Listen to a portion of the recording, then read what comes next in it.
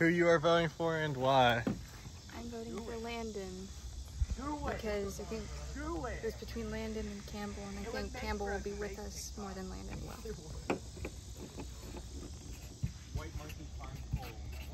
White what?